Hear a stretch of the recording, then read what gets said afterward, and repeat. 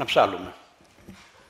Ευλογητός η Χριστέ,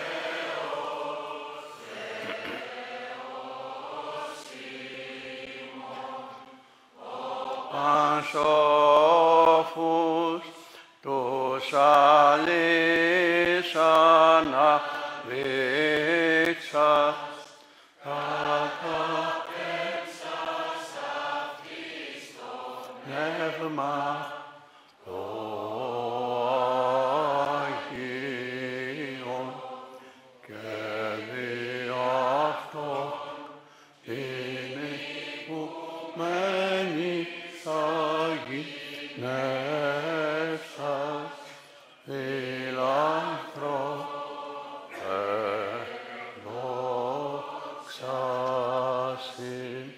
Отлично.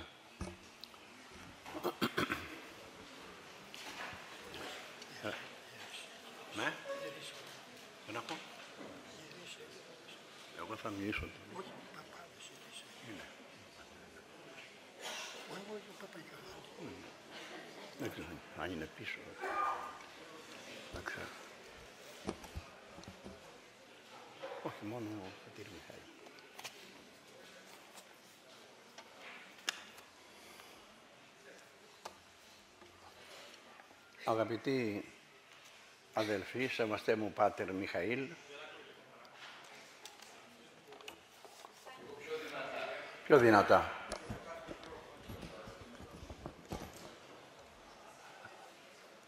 Έχω δίπλα μου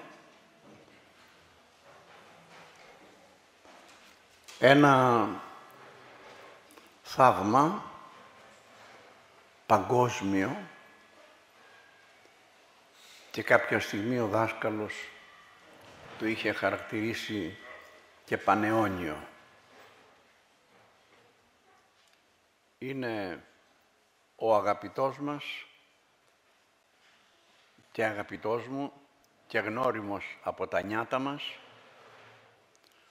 ο Κύριος Ιωάννης Χασιώτης. Τσοπάνος. Βοσκός. Αλλά, όπως λέει και η γραφή μας, τα μωρά του κόσμου εξελέξατε ο Θεός ή να τους σοφούς κατεσχύνει. Αγράμματος. Μετρήσαμε τα πεντάρια που πήρε στο Δημοτικό και τα βγάλαμε 30. Όλα μαζί 30. 31, έχεις πάρει και ένα εξάρι μου φαίνεται. Ναι, 31. Λοιπόν, αλλά μακάρι μεγάλοι καθηγητές πανεπιστημίων, όχι μόνο στην Ελλάδα, αλλά και στο εξωτερικό, όχι μόνο φέτος, αλλά τα τελευταία 2.000 χρόνια, να γνώριζαν την Καινή Διαθήκη, όπως τη γνωρίζει ο αγαπητός μας, ο Κύριος Γιάννης, από τη Μιλιά.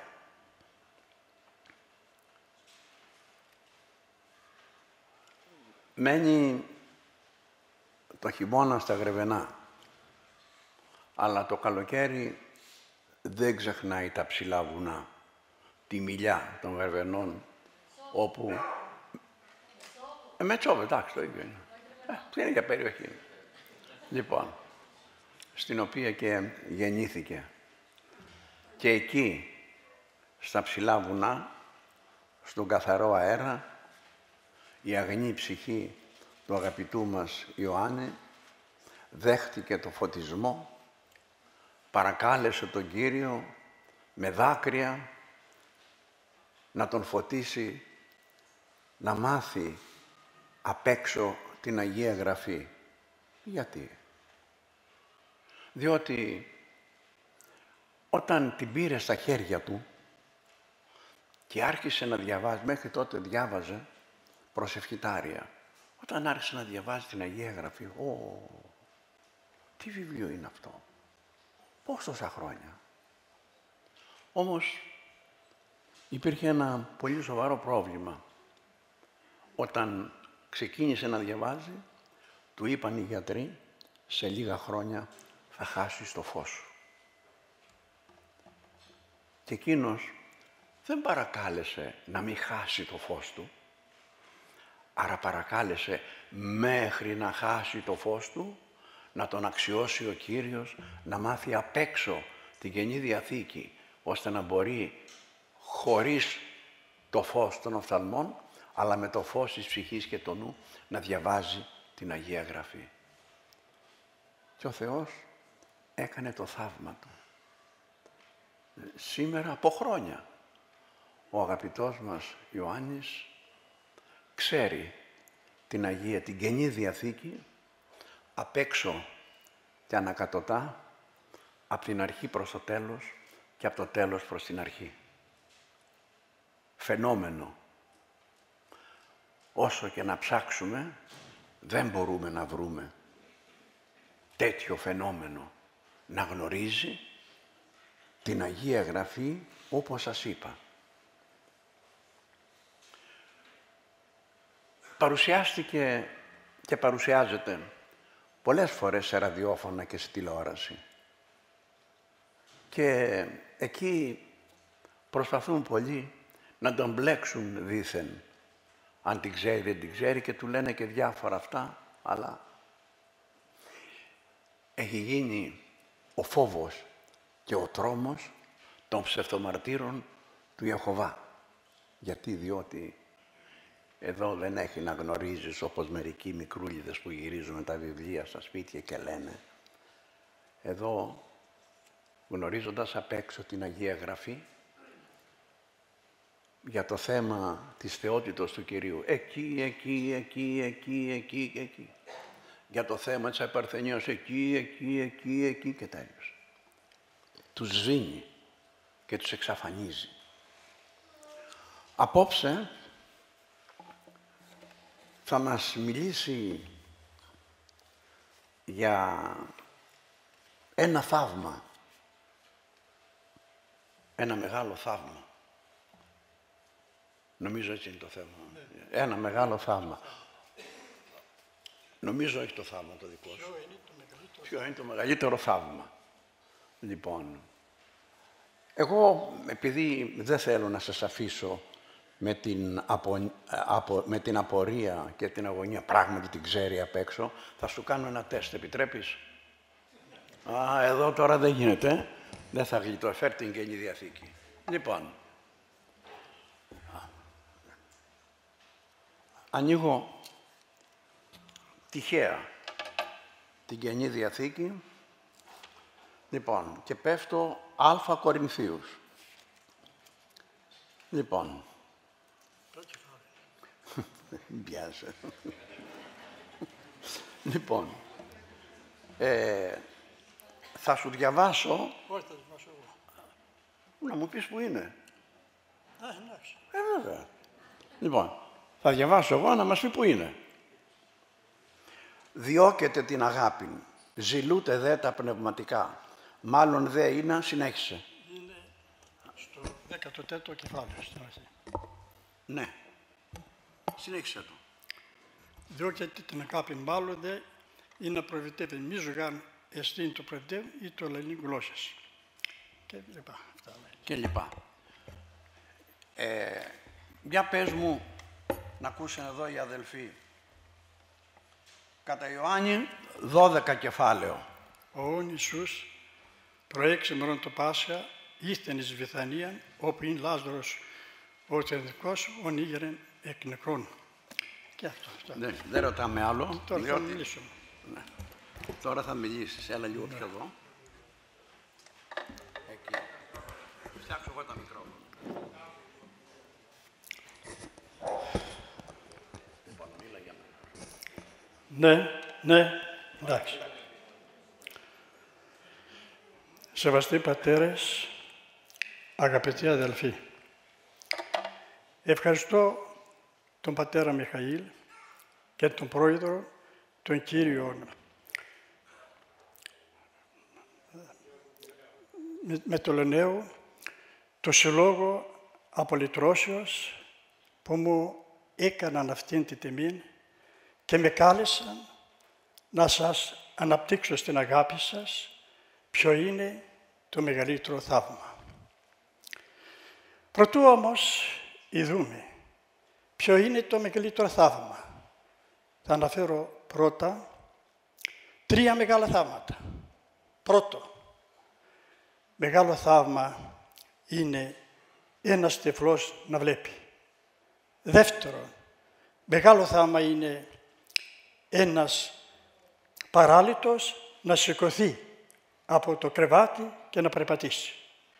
Τρίτο, μεγάλο θαύμα είναι ένας πεθαμένος να σηκωθεί από το νεκροταφείο και να πάει στο σπίτι του. Μεγάλη είναι αυτά τα τρία θάματα. Αλλά υπάρχει όμως ένα μεγαλύτερο θαύμα από αυτά. Αυτό το θαύμα δεν φαίνεται, αλλά είναι μεγαλύτερο. Και ποιο είναι αυτό το θαύμα, εάν ο καθένας από μας θα σπάσουμε τον εγωισμό μας και θα συγχωρήσουμε τους εχθρούς μας, αυτό είναι το μεγαλύτερο θαύμα. Διότι τα τρία πρώτα θαύματα που ανέφερα δεν είναι σε θέση να μας οδηγήσουν στη σωτηρία. Αν όμως θα συγχωρήσουμε τους εχθρούς μας, είναι σε θέση να μας οδηγήσουν στη σωτηρία. Καθώς ο ίδιος ο Χριστός στο έκτο κεφάλαιο κατά Μαθαίων Ευαγγέλιων μας διδάσκει την Κυριακή προσευχή το Πάτερ ημών. Και στο 12 στίχο λέγει εκεί να προσευχόμαστε στον Θεό Πατέρα και να λέμε «Και άφεση μην τα οφειλήματα ημών, ως και εμείς αφήμε τις οφλέτες ημών, και εμείς είναι έγκυση μας εις περασμών, αλλά ρίσε μας από το μερό». Όταν προσευχόμαστε στο Θεό Πατέρα να συγχωρήσει τα σφάλματά μας, εάν εμείς όμως δεν θα συγχωρήσουμε, τότε έχει την εξής ερμηνεία. Είναι σαν να λέμε στον Θεό, Θεέ, εσύ είσαι υποχρεμένος να μας συγχωρήσεις. Εμείς όμως δεν θα συγχωρήσουμε. Και αφού τελειώνει την Κυριακή προσευχή, παρακάτω 14-15 στίχους λέει «Εάν γραφείτε τις ανθρώπεις τα παραπτώματα αυτών, αφήσει και μείνω πατήρ μόνο ουράνιος. Εάν δεν μη αφείτε τις ανθρώπεις τα παραπτώματα αυτών, ο Δεό πατήρ μόνο αφήσει τα παραπτώματα μόνο. Εάν εσείς, ως άνθρωποι που είσαστε, θα συγχωρήσετε τα σφάλματα των άλλων ανθρώπων, έτσι και ο πατέρας σας ο ουράνιος θα συγχωρήσετε τα δικά σας σφάλματα. Εάν εσείς όμως δεν θα συγχωρήσετε τα σφάλματα των άλλων ανθρώπων, ούτε ο πατέρας σας που είναι στους ουρανούς θα συγχωρήσει τα δικά σας σφάλματα. Για να καταλάβουμε καλύτερα ότι αν δεν θα συγχωρήσουμε, δεν θα συγχωρηθούμε, θα αναφέρω μια παραβολή που λέει ο Χριστός στο 18ο κεφάλαιο κατά Μαθαίων Ευαγγέλιων, στίχη 21-35. Ο Απόστολος Πέτρος ρωτάει τον Χριστό και του λέγει «Κύριε, πως άκης αμαρτήσει, είσαι με ο αδερφός μου και αφήσω αυτό έως επτάκες». Κύριε, λέει ο Πέτρος στο Χριστό, πόσες φορές θα σφάλει σε μένα ο αδερφός μου και θα το συγχωρήσω μέχρι 7 φορές. Λέγει αυτό Ιησούς, ο λέγος έως επτάκες, αλλά έως μη κοντά και σε επτά. Δεν σου λέω 7 φορές, αλλά 77 φορές το 7. Δεν τούτο, ομοιώθη βασιλεία των ουρανών, ανθρώπο βασιλεί. Όσοι θέλει συνάρε, λόγων μετά το δούλον αυτού αρξαμένο δε αυτός συνέρη, προσενέχεται αυτό ίσο φελέτης μυρίων ταλάντων. Μη έχοντος δε αυτό αποδούνε, εκέλευσεν αυτόν ο Κύριος αυτού, πραθύνε και τη γυναίκα αυτού και τα τέκνα και πάντα όσα είχε και αποδούνε. Όταν άρχισε ο βασιλιάς να κάνει λογαριασμό με τους δούλους του, του έφερα κοντά του ένα δούλο που του χρωστούσε 10.000 τάλαντα. Και επειδή ο δούλος δεν είχε να τα πληρώσει, διέταξε ο βασιλιάς να πουληθεί αυτός η γυναίκα του, τα παιδιά του και όλα τα υπάρχοντα για να εκπληρώσει το χρέος. Πεσόν ούν ο δούλος προς εκείνη αυτό λέγον, «Κύριε, μακροθύμησον επί μη και πάντα σε παιδώσω». Έπεσε, λέει ο Χριστός, ο δούλος στα πόδια του βασιλιά, τον φωσεκίνησε, τον παρεκάλεσε και του είπε «Κάνε υπομονή και όλα όσα σου χρωστάω θα σου τα πληρώσω». Σπλαναξτής δε ο Κύριος το δούλο εκείνο απέλησε αυτόν και το δάνειον αφήκεν αυτόν. Σπλανίστε και δε ο βασιλιάς επί του δούλων εκείνων και τον άφησε ελεύθερο, αλλά και όλο το χρέος που του χρωστούσε του το εχάρισε. Εξαιτών δε ο δούλος εκείνος έβρεν ένα το συνδούλων αυτού, ως όφελεν αυτού εκατό δενάρια. Και κρατήσει αυτόν έπινε και λέγον, απόδομη ή τι οφείλεις. Όταν ο δούλος εκείνος έφυγε από προσώπο του βασιλιά, στο δρόμο συνάντησε έναν συνδουλόν του που του χρωστούσε εκατό δενάρια.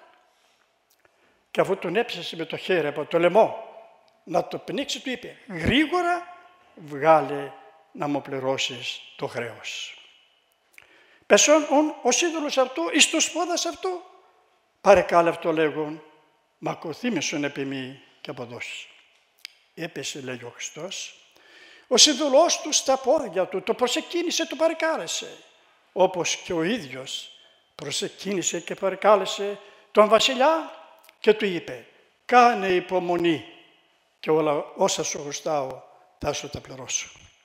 Ο Δεού και θέλεν, αλλά πεθόν έβαλεν αυτόν εις φυλακή έως σου από εδώ το φυλόμενο. Αυτός όμως δεν ήθελε να συγχωρήσει και να τον ελύσει όπως ο βασιλιάς ηλέησε τον ίδιο, αλλά τον έφερε στη φυλακή και τον άφησε εκεί μέχρι να εκπληρώσει το χρέος. Ιδώντες δε σύντολοι αυτού τα γενόμενα, ελπίθησαν σφόδρα και ερθόντες δε σάφσαν το Κυρίο εαυτόν πάντα τα γενόμενα. Όταν οι άλλοι σύντολοι του είδαν όλα αυτά που συνέβη με αυτόν το σκληρό δούλον, λυπήθηκαν πάρα πολύ και πήγαν και τα είπα στο βασιλιά. Τότε προσκαλεσάμουν σε αυτόν ο Κύριος αυτό λέγει αυτό.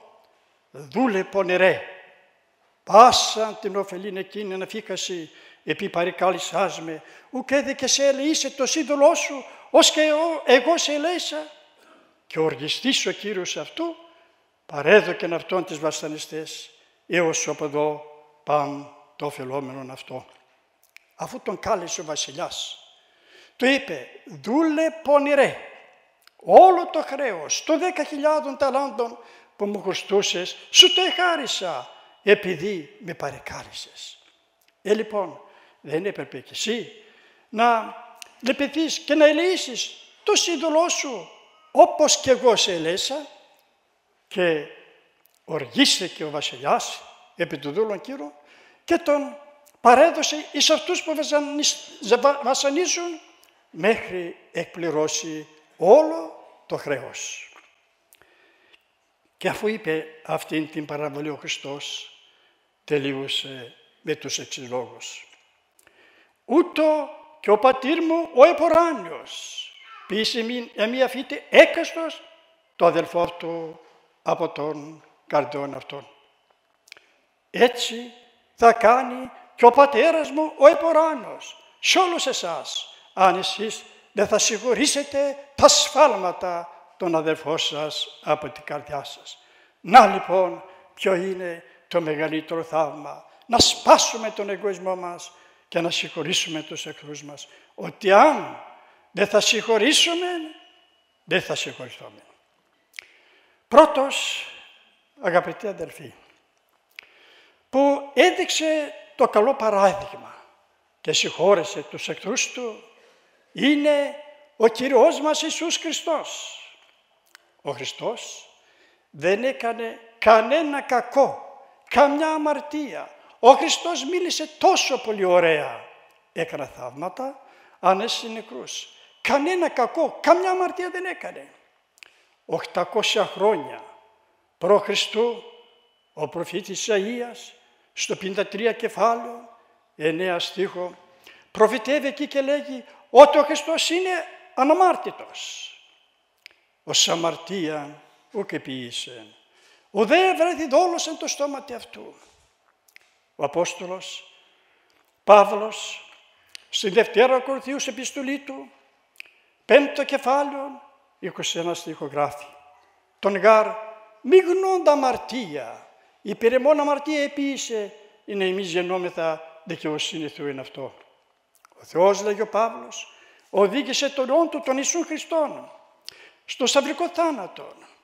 Το δίκασε για να αυτός που δεν έκανε κανένα κακό, καμιά αμαρτία ή μάλλον δεν δοκίμασε τη δαπή αμαρτία και τον οδήγησε πάνω στο σταυρό ώστε εμείς οι αμαρτωλοί να γινόμεθα δίκοι ενώπιον του Θεού. Αλλά και ο ίδιος ο Χριστός στο 8ο κεφάλαιο κατά Ιωάννη Ευαγγέλιο 46 στίχο λέγει εκεί στους αρχιερείς γραμματείς και φαρισαίους «Τις εξημών ελέγχει με περί αμαρτίας, ποιος από εσάς είναι σε θέση να με ελέγξει ότι έχω κάνει αμαρτίες» και κανένας δεν βρέθηκε να τον ελέγξει. Ακόμα και αυτοί οι υπερέτε που πληρώθηκαν και πήγαν να συλλάβουν τον Ιησούν Σαλιστίν, σαν κακούργων, να το φέρουν κοντά του να το δικάσουν και αυτοί ομολόγησαν αυτή την αλήθεια. Καθώς διαβάζουμε στο 7ο κεφάλαιο κατά Ιωάννη Ευαγγέλιο, μας λέγει εκεί ότι οι αρχιερείς και φαρισαίοι πλήρωσαν τους υπηρέτας, δηλαδή αστυνομικά όργανα, να πάνε να συλλάβουν τον Ιησούν, να το φέρουν κοντά τους, να τον καταδικάσουν. Και στίχη 44-46 λέγει «Τίνες δε ήθελον εξ αυτών πιάσει αυτόν, αλλοδείς επέβαλεν παρτών τα σχήρας. Ήρθον ον οι υπηρέτε προς τους αρχείς και φαρισαίους και είπαν αυτοίς σε εκείνοι, «Διατί ουκ γάγεται αυτόν» απεκρίθησαν οι υπηρέτε, «ουδέποτε ούτως ελάλησε άνθρωπος ως ούτως ο άνθρωπος».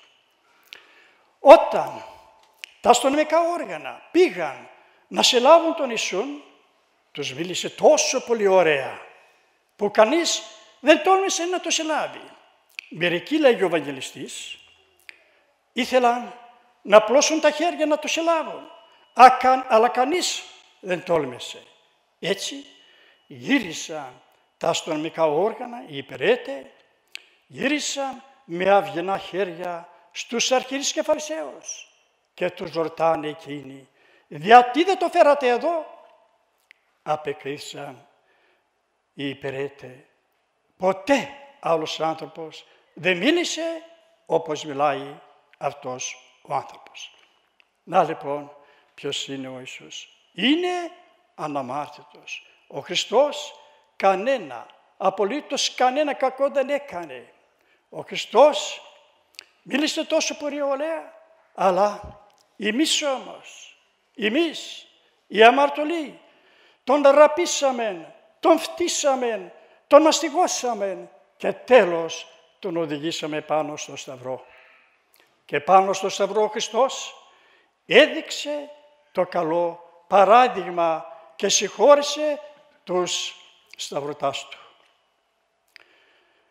Καθώς μας διδάσκει ο Ευαγγελιστής Λουκάς στο 23ο κεφάλαιο του Ευαγγελίου 34 στίχο λέγει ότι τη Μεγάλη Πέμπτη όταν οι σταυρωτέ του χτυπούσαμε το σφυρί, τα καρφιά, να μπουν στα πόδια, στα χέρια, στη καρδιά του, ο Χριστός προσευχόταν στον ουράνιο πατέρα και έλεγε «Πάτερ, άφες αυτής, ουγάρ είδαση την ποιούση».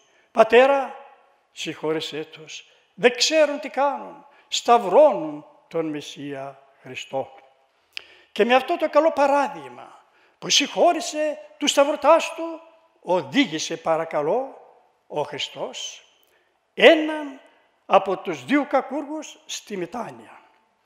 Καθώς πάλι ο Ευαγγελιστής Λουκάς στο 23ο κεφάλαιο στίχη 39-43 λέγει «Εις δε των κρεμασθέντων κακούργων ευραστήμα αυτών λέγον «Εσύ ή ο Χριστός σώσον σε αυτόν και εμάς». Αποκριθείς δε ο έτερος επιτήμα αυτό λέγον «Ο δε φοβήσει των Θεών ότι εν το αυτό κρίματι ή» και εμείς με δικαίως άξια γάρον επράξαμε απολαμβάνομαι, ούτως δε ο δεν άτοπον έπραξεν. Και έλεγε το Ιησού, νήσε τι μου Κύριε, όταν έθισε τη βασιλεία σου.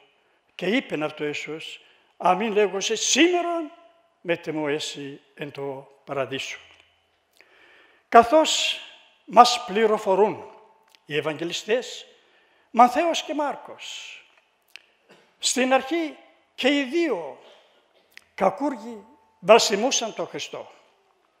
Ένας όμως από τους δύο κακούργους όταν άκουσαν τον Χριστό να προσεύχεται για τους σταυρωτάς του, συγκινήθηκε ο άνθρωπος και, και μετανόησε.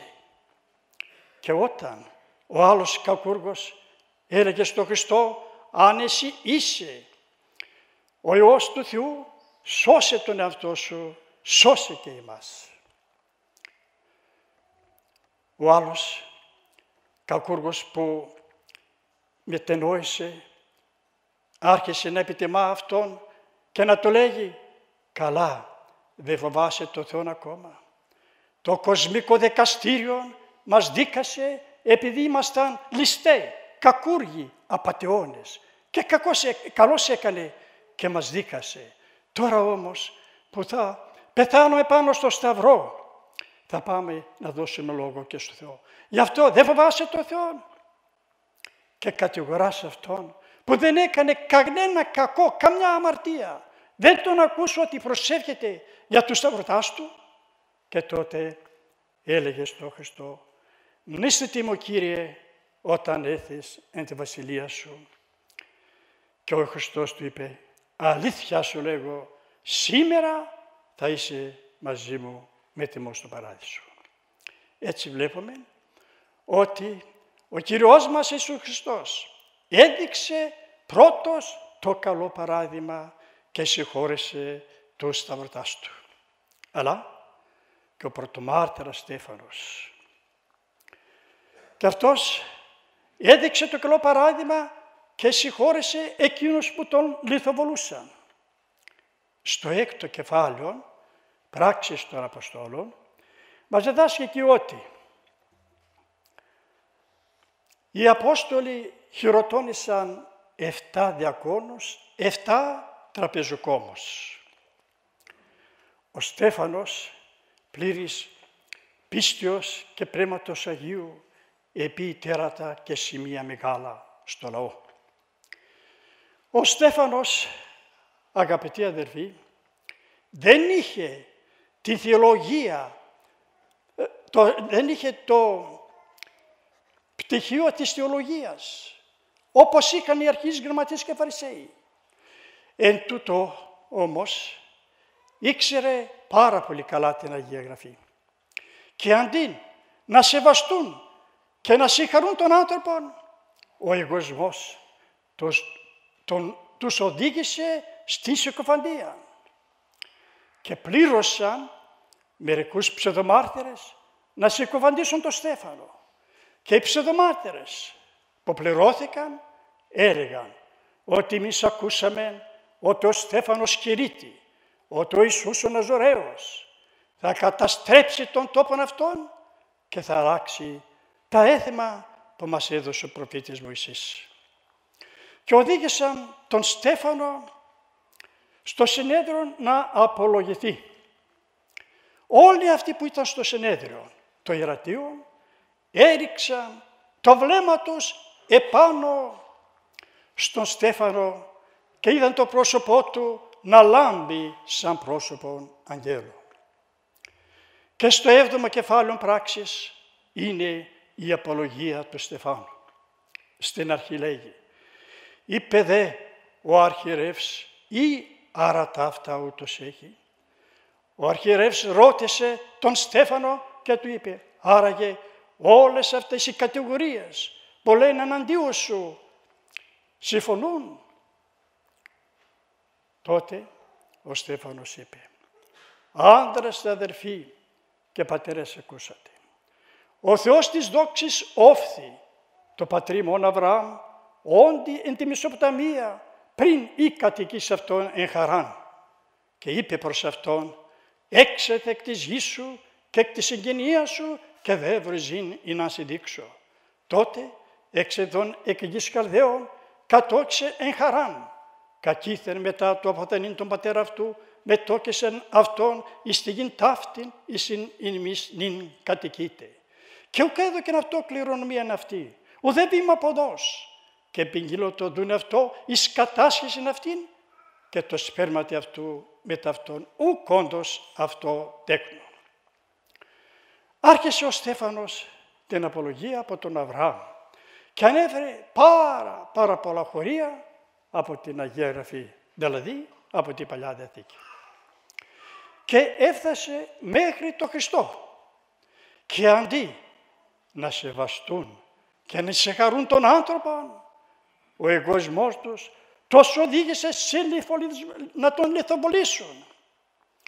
Και αρπάζουν το Στέφανο από το συνέδριο, τον έβγαλαν έξω από την πόλη και όλοι πήραν πέτρες στα χέρια τους και λιθοβολούσαν το σπίτι Και έπεφταν οι πέτρες επάνω στον Στέφανο σαν βροχή και ενώ επρόκειτο να πεθάνει παρέδωσε το πνεύμα του στα χέρια του Χριστού και είπε «Κύριε Ιησού, δέξε το πνεύμα μου». Και μετά γονάτισε και προσευχήθηκε για αυτούς και είπε «Κύριε, μη στήσεις αυτής την αμαρτία ταύτη» και τούτη υπόνε και μύθι. «Κύριε, μη στήσεις, μη λογαριάζεις την αμαρτία που κάνεις μένα, συγχώρεσέ τους». Και αφού είπε αυτά, εκοιμήθη, απέθανε. Έτσι βλέπουμε και ο Στέφανος έδειξε το καλό παράδειγμα και συγχώρεσε εκείνος που τον λιθοβολούσε. Δε τούτο, επαναλαμβάνω, το μεγαλύτερο θαύμα είναι να συγχωρήσουμε τους εχθρούς μας, ότι αν δεν θα συγχωρήσουμε, δεν θα συγχωρθούμε. Κάποτε, αγαπητοί αδελφοί, μια γυναίκα, μια κυρία με ρώτησε πόσες μέρες κρατάς νηστεία για να κοινωνήσεις; Και εγώ της είπα δυο-τρεις μέρες. Αυτή μου λέγει, μα εγώ κρατάω 15 μέρες νηστεία και μετά πηγαίνω να κοινωνήσω. Και είχα ακούσει για αυτήν την κυρία ότι με, με την γειτόνισά της ήταν μορμένη. Και της είπα, εάν θα ήμουν ένας πνευματικός και θα ερχόσουν να, να εξομολογηθείς, όχι 15 μέρες, αλλά 365 μέρες που έχει ο χρόνος, όλο το χρόνο να κρατάς νηστεία, ψωμί, ξηρό να φας και νερό να πιείς, δεν θα σου έδινα άδεια να κοινωνήσεις το σώμα και το αίμα του Χριστού. Αλλά θα σου έλεγα να πας πρώτα, να σε με την γειτόνισά σου και μετά να πας και αν θα σου έκανε και κανένα κακό να τη συγχωρήσεις με την καρδιά σου και μετά να πας να κοινωνήσεις το σώμα και το αίμα του Χριστού.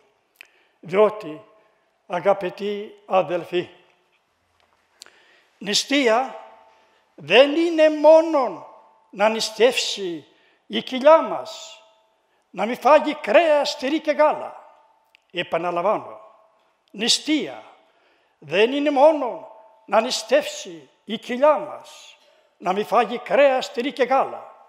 Αλλά νηστεία είναι να σπάσουμε τον εγωισμό μας και να συγχωρήσουμε τους εχθρούς μας. Και νηστεία ακόμα είναι όλα τα μέλη του σώματός μας να νηστεύσουν. Να νηστεύσουν παραδείγματος χάρη τα μάτια μας. Να μην βλέπουν τον άλλον άνθρωπο με πονερό μάτι. Διότι ο Χριστός στο πέμπτο κεφάλαιο κατά Μαθαίων Ευαγγέλων 27 στίχο, εκεί που συμπληρώνει το Μωσαϊκό νόμο, λέγει «Εκούσατε ότι ρέθη τις αρχαίες ομιχεύσεις, εγώ δεν λέγω μην ότι πάσο βλέπω γυναίκα προς το επιθυμείς σε αυτήν, ήδη εμίχευσεν αυτήν την καρδιά αυτού». Να λοιπόν, να νηστεύσουν τα μάτια μας, να νηστεύσουν τα αυτιά μας, να μην ακούσουμε ανώθηκα και διάφορα πράγματα που δεν πρέπει να τα ακούσουμε. Να νηστεύσει η γλώσσα μας, διότι όπως ο λαός λέγει, η γλώσσα κόκαλα δεν έχει και κόκαλα τσακίζει. Και στην Παλιά Δεθήκη μας διδάσκει ότι η τρίτη γλώσσα σμπρώχνει βασιλείς από τους θρόνους. Να νηστεύσουν τα χέρια μας, να μην κρέψουμε τα πράγματα των άλλων ανθρώπων, ούτε να σηκώσουμε χέρι και χτυπάμε τους ανθρώπους. Να νηστεύσουν τα πόδια μας, να μην πάμε σε νυχτερινά κέντρα και ακούμε ανήθικα και βρωμερά πράγματα. Και πρεπαντός να νηστεύσει το μυαλό μας, ότι το τιμόνι που μας οδηγούν να κάνουμε το κακό και την αμαρτία βγαίνουν από το μυαλό. Γι' αυτό το μυαλό μας να νηστεύσει. Αυτή είναι η νηστεία. Ο προφήτης Ισαΐας στο πρώτο κεφάλαιο, στίχη 10-20, ανάμεσα στα άλλα λέγει και τα εξής ότι ο Θεός δεν δέχεται από εσάς ολοκαυτώματα θυσίας, νηστείας και αργίας. Και δεν δέχεται, λέγει, ότι τα χέρια σας στάζουν έμαθό. Αδικείτε τη χείρα των ορφανό, τον ανήμπορο. Γι' αυτό δεν δέχεται από εσάς ο Θεός ολοκαυτώματα θυσίας, νηστείας και αργίας. Να λοιπόν ποιο είναι το μεγαλύτερο θαύμα. Να μπορέσουμε να συγχωρήσουμε τους εχθρούς μας. Αλλά για να μπορέσουμε αγαπητοί αδερφοί να συγχωρήσουμε τους εχθρούς μας πρέπει να πιούμε ένα φάρμακο. Το φάρμακο αυτό δεν μας δεν πουλιέται στο μαγαζί, ούτε αγοράζεται. Αλλά το φάρμακο αυτό μας το δίνει ο Θεός, δωρεάν, τζάμπα, όπως λένε και οι βλάχοι. Και αυτό το φάρμακο είναι η αγάπη του Χριστού. Αν πραγματικά αγαπάμε τον Χριστό, τότε πραγματικά θα μπορέσουμε να συγχωρήσουμε τους εχθρούς μας. Διότι ο Χριστός λέγει, «Εάν αγαπάτε με, τα σεντολά τα σημά στηρίσατε και ο έχων τα σεντολάς μου και τερών αυτάς, εκείνος εστίν ο αγαπώμε».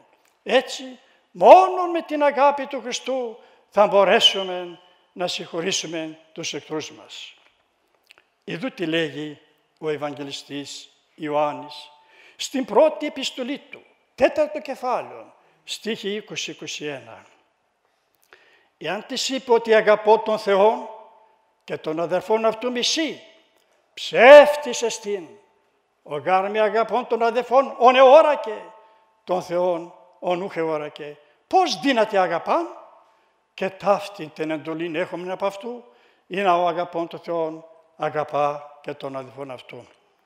Εάν κανείς λέγει ότι αγαπάει τον Θεό, τον πιστεύει, τον σέβεται, αλλά αυτός ο άνθρωπος δεν αγαπάει τον αδερφόν του, αλλά τον μισεί, λέγει ο Ευαγγελιστής Ιωάννης, είναι ψευτεράς.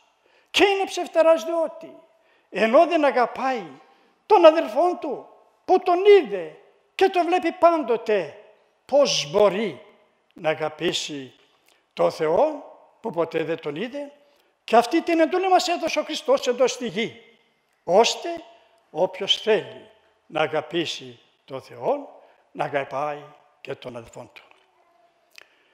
Ο Απόστολος Παύλος στην πρώτη Κορινθίους επιστολή του, 12ο κεφάλαιο, μας διδάσκει εκεί για τα χαρίσματα που είναι μέσα στο σώμα της Εκκλησίας και αναφέρει για παράδειγμα ο Παύλος το ανθρώπινο σώμα και λέγει όπως το ανθρώπινο σώμα Ένα είναι, αλλά έχει πολλά μέλη.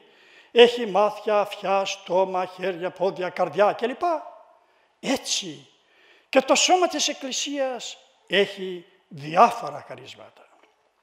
Και από το 27 στίχο και καθεξής λέγει ο Παύλος «Εμείς δε εστε σώμα Χριστού και μέλη εκ μέρους και ους με έθετο ο Θεός εν τη Εκκλησία πρώτον Αποστόλους, δεύτερον προφήτας, τρίτον διδασκάλους, έπειτα δυνάμεις ή τα χαρίσματα αιμάτων, αντιλήψεις, κυβερνήσεις γέννη γλωσσών κλπ. Και στο 31 στίχο λέγει «Ζηλούτε δε τα χαρίσματα, τα κρίτωνα και τι καθ' υπερβολήν οδόν ημίν δίκρυμη». Να ζητάτε, λέει ο Παύλος, να αποκτήσετε τα καλύτερα χαρίσματα και εγώ, ως Απόστολος του Χριστού που είμαι, λέει ο Παύλος, έρχομαι να σας δείξω ποιο δρόμο, ποιο χάρισμα που πρέπει να επιδιώκετε να αποκτήσετε. Και στο 13ο κεφάλαιο είναι ο ύμνος της αγάπης. Εκεί ο Παύλος λέγει «Εάν τις γλώσσες των ανθρώπων λαλώ και των αγγέλων αγάπη δεν με έχω γέγονα χαλκόσυχων ή κύβαρον αλαλάσσουν». Εάν μπορώ να μιλήσω όλες τις γλώσσες του κόσμου. Η Αγία Γραφή έχει ερμηνευτεί παραπάνω από 1200 γλώσσες. Και λέει ο Παύλος, εάν όλες αυτές τις γλώσσες μπορώ να τις μιλήσω, μπορώ ακόμα να μιλήσω και τη γλώσσα που μιλάνε οι άγγελοι στον ουρανό. Εάν όμως δεν έχω την αγάπη, δεν συγχωρώ τους εχθρούς μου, μοιάζω, λέει ο Παύλος, σαν ένα γκαζουτενικέ που το χτυπάνε άνθρωποι και βοίζει και σαν ένα μουσικό όργανο που δεν δίνει τη σημασία της φωνής. Και αν έχω προφητεία και εδώ τα μυστήρια πάντα και πάσαν τη γνώση και αν έχω πάσαν την πίστη ώστε όροι με θυστάνει αγάπη δεν με έχω ο δεν ημί. Και αν ακόμα λέγει ο Παύλος θα έχω χαρίσματα προφητείας και προφητεύω και γνωρίζω όλα τα μυστήρια και όλη τη γνώση και αν έχω μεγάλη πίστη, ώστε με την πίστη μου να γκρεμίσω όρη και βονά. Αν όμως δεν έχω την αγάπη, δεν συγχωρώ τους εχθρούς μου, δεν έχω τίποτε. Και αν ψωμίσω πάντα τα υπάρχοντά μου και αν παροδώ το σώμα μου να καεί, να καυτίσετε, αγάπη δεν με έχω, ο δεν ωφελούμε. Και αν ακόμα, λέγει ο Παύλος, θα δώσω την περιουσία μου να θρέψω τους φτωχούς. Κι αν ακόμα θα παραδώσω το σώμα μου να καεί, να θεσιάσω τον εαυτό μου. Εν όμως δεν έχω την αγάπη, δεν συγχωρώ τους εχθρούς μου, δεν με ωφελεί τίποτε. Και ενώ μέχρι εδώ ο Απόστολος Παύλος λέγει ότι οποιοδήποτε χάρισμα και έχω, εάν δεν έχω την αγάπη, δεν με οφλεί τίποτε. Στη συνέχεια αναφέρει όλα τα χαρίσματα που βγαίνουν από την αγάπη.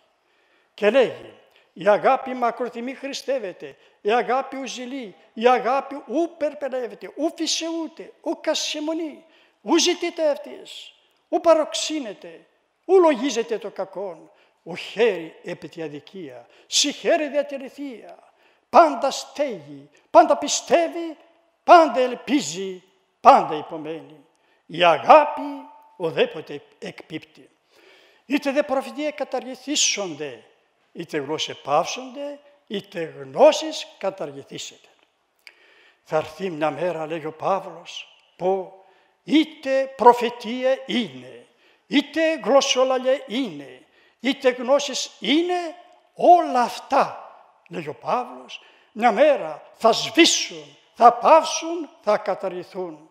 Η αγάπη όμως θα συνεχίσει να υπάρχει, διότι με την αγάπη μου θα μπορώ να συγχωρήσω τους εχθρούς μου και με την αγάπη μου θα κάνω καλά έργα.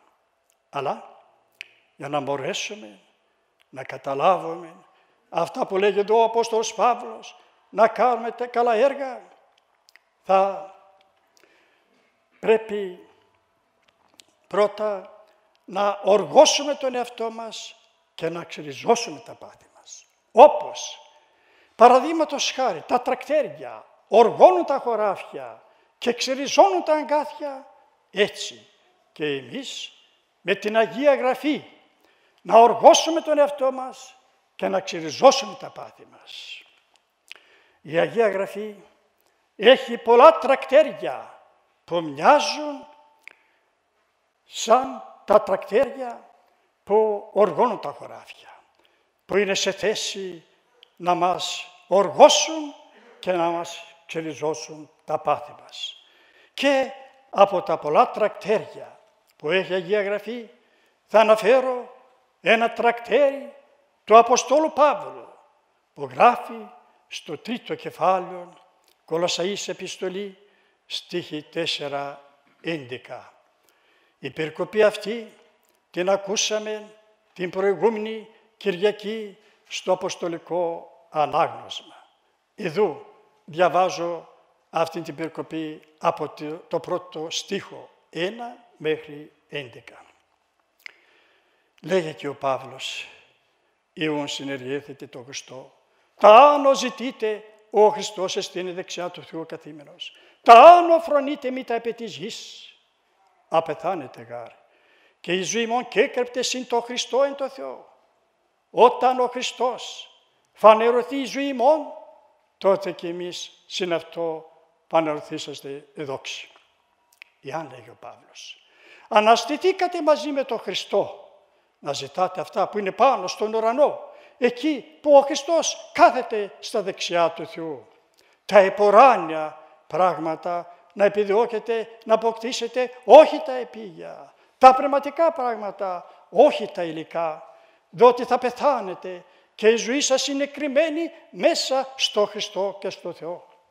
Για τούτο, ο Χριστός που είναι η ζωή μας, όταν θα παρουσιαστεί τη Δευτέρα παρουσία, τότε και εμείς όλοι πιστοί θα παρουσιαστούμε ενώπιον του Χριστού ένδοξοι και στεφανωμένοι. Αλλά για να παρουσιαστούμε μπροστά στο Χριστό ένδοξοι και στεφανωμένοι πρέπει να οργώσουμε τον εαυτό μας και να ξεριζώσουμε τα πάθη μας. Με τούτο, στη συνέχεια παρακάτω ο Παύλος αναφέρει όλα τα κακά που έχουμε επάνω μας και λέγει «Νεκρόσατεούν τα μέλη μόντα επί της γης, πορνίαν, καταρσίαν, πάθος, επιθυμίαν κακήν και την πλονεξίαν ήρθισε στην ειδωλατρία. έρχεται η οργή του Θεού επί τους ιούς της απαιτίας. Ενείς και εμείς περιπατήσατε έποτε ό,τι ζήτην αυτής. Νεν είδε απόθεστε και εμείς τα πάντα. Οργήν, θυμών, κακία, βλασφημία, εσχολογίαν εκ του στόματος ημών. Μη ψεύδες εις αλλήλους, απεκδισάμνη των πολλών άνθρωπων συν της πράξης αυτού και δισάμνη των νέων των ανακοινούμενων εις επίγνωση κατ' εικόνα το κτίσαντος αυτών, όπου καίνει ένι και ουδέως, περιτομή και ακουβριστία, βάρβαρος σκήθης, δούλος ελεύθερος, αλλά τα πάντα και πάση Χριστός. Με αυτό το τρακτέρι του Αποστόλου Παύλου και με άλλα πολλά τρακτέρια που έχει Αγία Γραφή να οργώσουμε τον εαυτό μας και να ξεριζώσουμε τα πάθη μας. Αλλά για να μπορέσουμε να κάνουμε, να οργώσουμε τον εαυτό μας και να εξοριζόμαστε τα πάθη μας, να κάνουμε καλά έργα, καλόν φίλο για την πέραν το τάφο ζωή. Για να καταλάβουμε καλύτερα, αγαπητοί αδελφοί, αυτό που λέγω, να κάνουμε καλά έργα, καλό φίλο για την πέραν του τάφου ζωή, θα αναφέρω ένα απλό παράδειγμα που συχνά το λέγω στις ομιλίες εκεί που χρειάζεται. Κάποτε υπήρχε ένας άνθρωπος ο οποίος είχε τρεις φίλους. Και αυτός ο άνθρωπος συκοφαντήθηκε και οδηγήθηκε στο δικαστήριο. Όταν άκουσαν οι φίλοι του ότι οδηγήθηκε στο δικαστήριο, οι δύο φίλοι τον ακολούθησαν μέχρι την πόρτα του δικαστηρίου.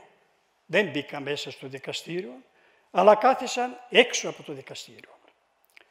Ένας όμως φίλος μπήκε μαζί του μέσα στο δικαστήριο ως μάρτυρας και κατέθεσε τι ήξερε για αυτόν τον άνθρωπο; Θέλετε να μάθετε ποιος είναι αυτός ο άνθρωπος; Είμαι εγώ.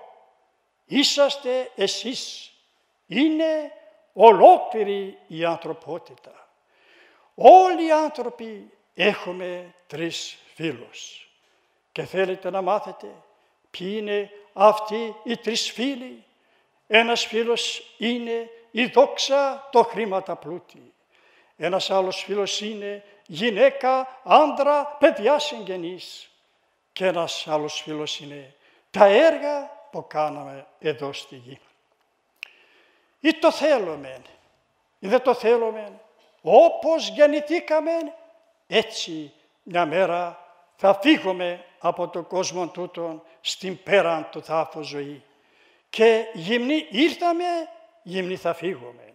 Καθώς ένας μεγάλος Άγιος της Εκκλησίας μας, ο Ιώβ, που ο διάβολος και σατανάς το κατέστρεψε όλη την οικογένειά του και όλα τα ζωντανά κοπάδια, είπε τούτα τα λόγια καθώς διαβάζουμε στο πρώτο κεφάλαιο 21 στίχο.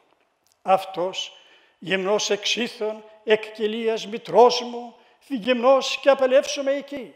Ο Κύριος έδωκεν ο Κύριος αφύλατο, ως το Κύριο έδοξε, ούτω και γέννητο. Ή το όνομα Κυρίου ευλογημένος του αιώνας. Γυμνός γεννήθηκα λέγει ο Ιώβ, γυμνός και θα φύγω από το κόσμο αυτόν. Ο Ιώβ θέλει να πει τα εξής. Όταν γεννήθηκα δεν είχα ούτε γυναίκα, ούτε αγόρια, ούτε κορίτσια, ούτε νύφες, ούτε γαμπρί, ούτε εγγόνια, ούτε ζωντανά κοπάδια. Γυμνός γεννήθηκα, γυμνός και θα βγω από τον κόσμο αυτόν. Και όπως ο Απόστολος Παύλος στην πρώτη τιμότεων επιστολή του, έκτο κεφάλαιο, εφτά στίχο γράφει. Ο δεν γάρισεν έγκαμεν στο κόσμο, δήλων ότι ουδέ ξενεγγεί δυνάμεθα. Τίποτα δεν φέραμε στο κόσμο, λέγει ο Παύλος, και είναι ολοκάθαρα ότι τίποτε δεν θα πάρουμε από τον κόσμο αυτόν. Γυμνοί ήρθαμε, γυμνοί θα φύγουμε. Και όπως το τροπάριο στην νεκρόσιαμη ακολουθία θα μας ψάλει. Πάντα ματιώτιστα ανθρώπινα, όσα όχι υπάρχει μετά θάνατο. Ο παραμένω πλούτος, ο συνοδεύει δόξα, έπε τον γαροθάνατος, ταύτα πάντα εξεφάνεστε. Έτσι, αυτός ο φίλος, η δόξα, το χρήμα, τα πλούτη, μια μέρα θα μας εγκαταλείψουν. Δεν πάει να έχεις τα δισεκατομμύρια της ανθρωπότητος. Δεν πάει να έχεις μεγάλη δόξα. Δεν πάει να είσαι αυτοκράτορας σε ολόκληρη τη γη. Δεν πάει να είσαι πλανητάρχης. Δεν πάει να είσαι πατριάρχης. Δεν πάει να είσαι αρχιεπίσκοπος. Δεν πάει να είσαι πρωθυπουργός. Δεν πάει να είσαι πρόεδρος δημοκρατίας. Όσα χρήματα, Όση δόξα και να έχουμε, τίποτε δεν πάρουμε. Γυμνοί ήρθαμε, γυμνοί θα φύγουμε από τον κόσμο αυτόν. Έτσι, αυτός ο φίλος μια μέρα θα μας εγκαταλείψει. Ο άλλος φίλος που είναι γυναίκα, άντρα, παιδιά, συγγενείς. Και αυτός ο φίλος μια μέρα θα μας εγκαταλείψει.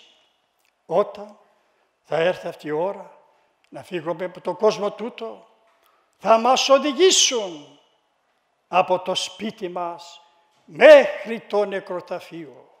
Και όταν το φιάρι, το νεκροθάφτη θα μας σκεπάσει με το χώμα, θα γυρίσουν στο σπίτι τους και θα μείνουμε μόνοι μας στον τάφο. Και αυτός ο φίλος, γυναίκα, άντρα, παιδιά, συγγενείς, μια μέρα θα μας εγκαταλείψουν.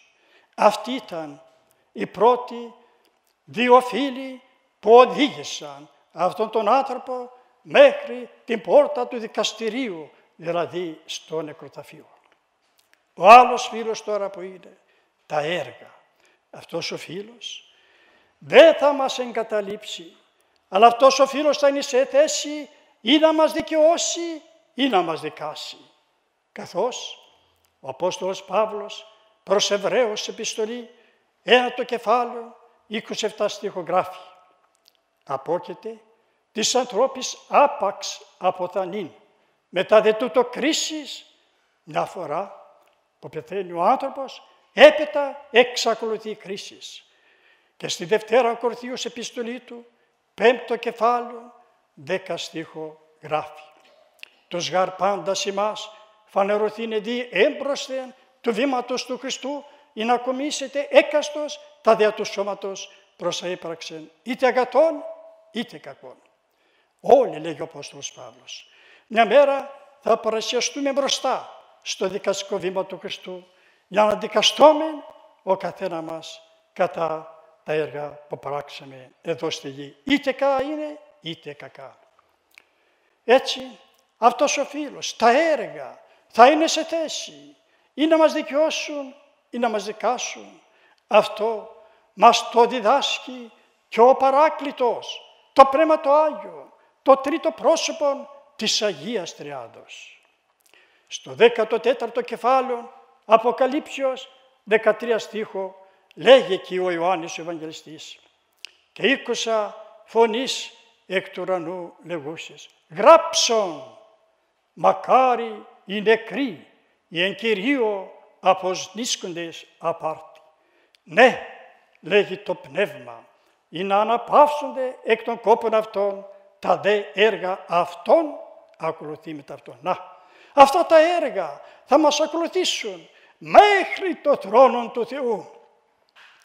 Και αυτά τα έργα θα είναι σε θέση ή να μας δικαιώσουν ή να μας δικάσουν. Για τούτο να κάνουμε καλά έργα, καλό φίλο για την πέραν το τάφο ζωή. Τέλος, αγαπητοί αδελφοί, να τα καταλάβουμε όλα αυτά που είπαμε. Πρέπει να γνωρίσουμε τρία πράγματα. Πρώτο, να πιστέψουμε ότι η Αγία Γραφή είναι ο Λόγος του Θεού.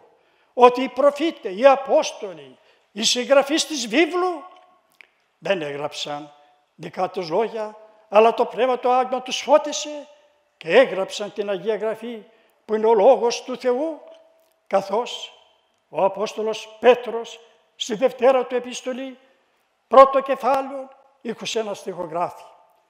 Ου γάρ θελήματα ανθρώπου η νέχτη ποτέ προφητεία, αλλά υπό πνεύματος Αγίου φερόμενοι, ελάλησαν Άγιοι Θεού άνθρωποι. Έτσι, πρώτο να πιστέψουμε ότι η Αγία Γραφή είναι ο Λόγος του Θεού. Δεύτερο, να τη μελετήσουμε και τρίτο, να τη τρίσουμε. Αν θα πιστέψουμε ότι η Αγία Γραφή είναι ο Λόγος του Θεού, θα τη μελετήσουμε και θα τη τηρήσουμε, τότε.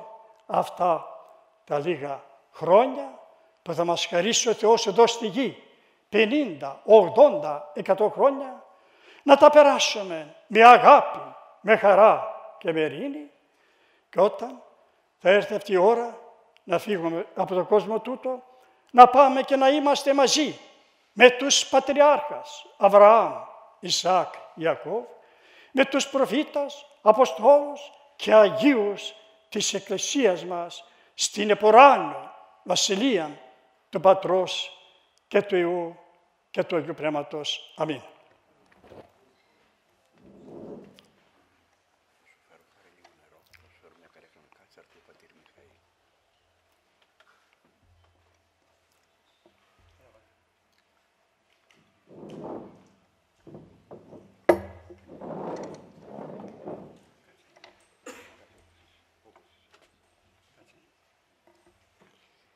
Πριν ευχαριστήσω τον αγαπητό μας Ιωάννη που μας έκανε αυτή την ωραία ομιλία, θα ήθελα να εκφράσουμε ευχαριστίες και δοξολογίες στον Πανάγαθο Θεό που χάρισε στον αδελφό μας Ιωάννη αυτό το χάρισμα, να ξέρει την Αγία Γραφή, αυτό το προνόμιο και να είναι για μας μια προτροπή να διαβάζουμε το Λόγο του Θεού, να τρεφόμαστε, αλλά και ένας έλεγχος, διότι θα πρέπει να ομολογήσουμε, αδέλφια μου, και εμείς που είμαστε μέσα στο χώρο της Εκκλησίας, δεν μιλάω για τον κόσμο, δεν μιλάω για αυτούς που έχουν χαλούς, χαλαρούς δεσμούς με την Εκκλησία και με τον Χριστό, αλλά και εμείς οι χριστιανοί δεν διαβάζουμε.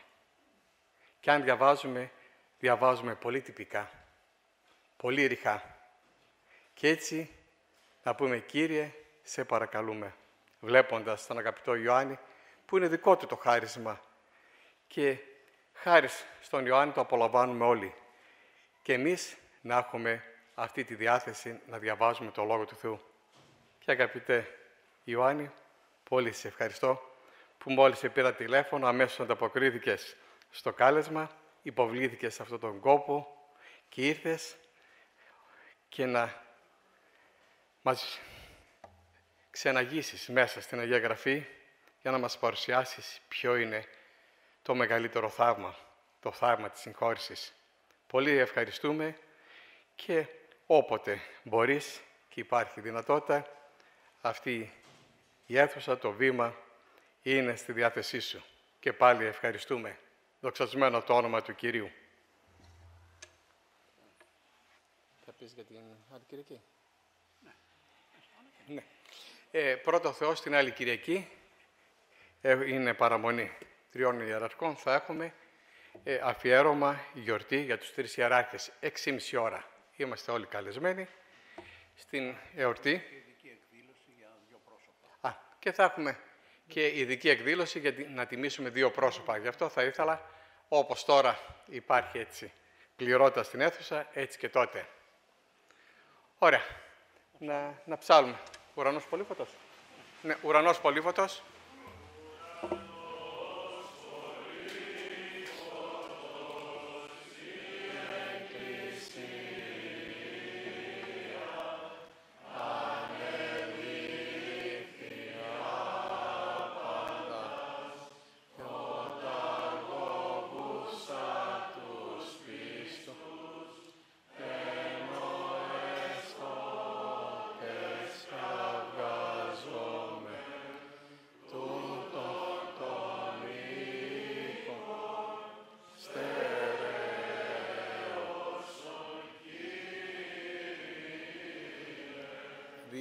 Των Αγίου Πατέρων ημών, Κύριε Ιησού Χριστέ ο Θεός, ελέησον και σώσον ημάς. Αμήν. Αμήν. Είσοδον ειρήνης.